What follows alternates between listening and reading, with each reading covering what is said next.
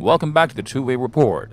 All anti-gun liberal progressive politicians force us to live by their unfair anti-2A laws, but they don't live by these laws. Well, in this video, we'll talk about the exception. One of those anti-2A politicians is given a taste of his own medicine. His Second Amendment rights are taken away from him unfairly.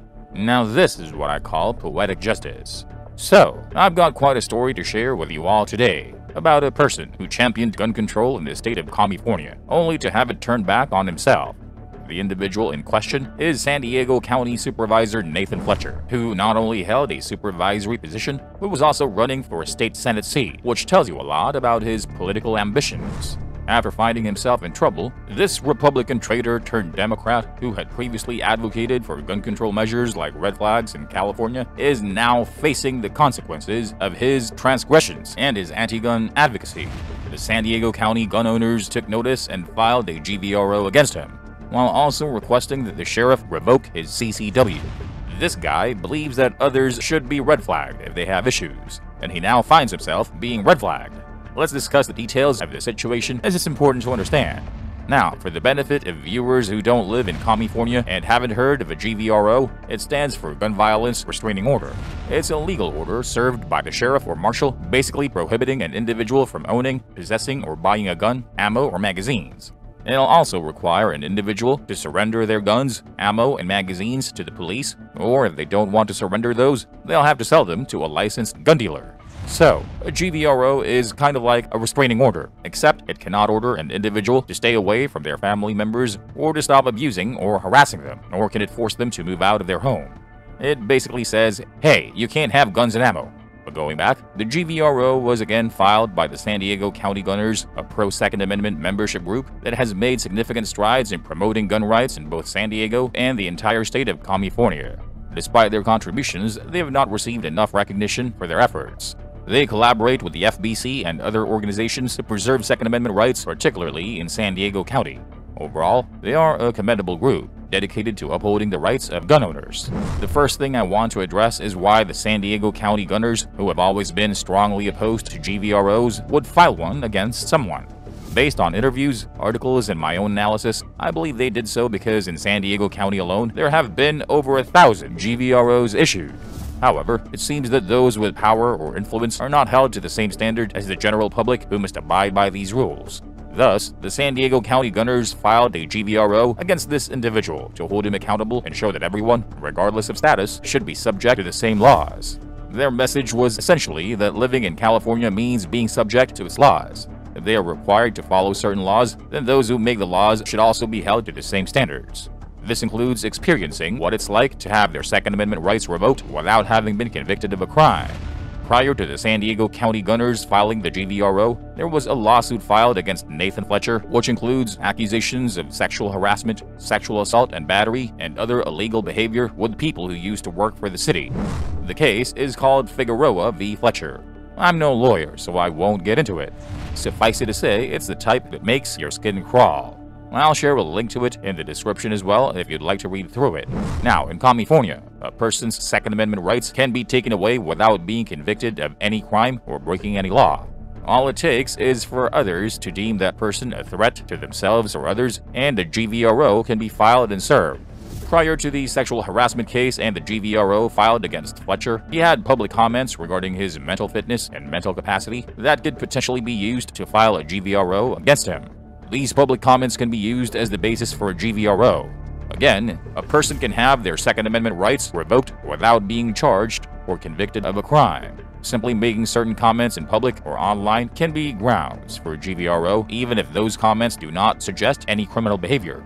And guess what happened? The San Diego County Gun Owners Association used those public comments and the sexual harassment slash sexual assault and battery lawsuit against Nathan Fletcher, holding him to the same standards as everyone else in the communist state of California.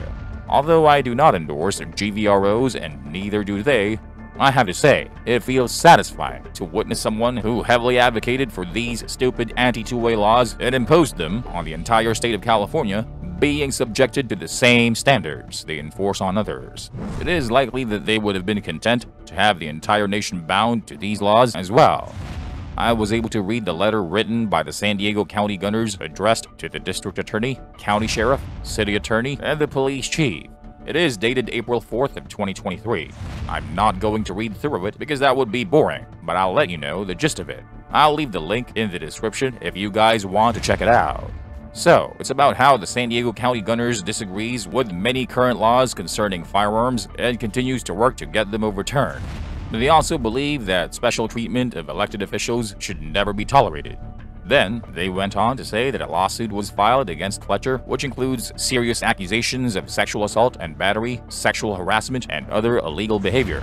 It is common practice for those California citizens accused of such illegal activities to have their concealed carry permit revoked and a gun violence restraining order filed against them to remove their access to all their guns. This GVRO filing against Fletcher is also further strengthened by the guy's statement that he released not too long ago, stating that he is too mentally unstable to continue his campaign for state senate and that he is seeking treatment for addiction. So, they requested in the letter to follow up on the progress made to revoke Fletcher's CCW and serve him the GVRO that was filed against him. Fletcher has been a vocal supporter of GVROs that heavily restrict CCW holders, particularly when accused of violent crimes. The letter was sent by Michael A. Schwartz, San Diego County Gun Owners Political Action Committee. There are a couple of key takeaways here. This situation highlights a fundamental issue with the way laws are enforced and applied in society if certain individuals, especially those in positions of power, are not held to the same standard as everyone else, it creates a two-tiered system that undermines the principles of fairness and justice. The fact that a GVRO can be filed based on mere accusations and without any conviction or even charge of a crime is deeply concerning. It sets a dangerous precedent that could be easily abused and violates the fundamental rights of individuals to due process and presumption of innocence. It is important to hold those positions of power accountable and to ensure that laws are applied fairly and consistently across the board. Only by doing so can we build a society that truly values justice and equality. Upon doing all the required research to complete the write-up for this video, Fletcher's story, an anti-gun politician in California facing the repercussions of the laws he advocates for, I experienced a certain level of gratification. Though I also have to say I'm a little half-hearted. I know that this reaction may be rooted in my initial response to the news, and I am open to hearing what you guys think about the GVRO, because again, we, gun advocates, hate this kind of stuff. And even though it feels good to give these politicians a taste of their own medicine, there's just that part of you that says you shouldn't feel good about it. Yes, it's supposed to be a good thing that someone who has been pushing for strict gun control laws is now being held accountable to the same standards that they expect others to follow.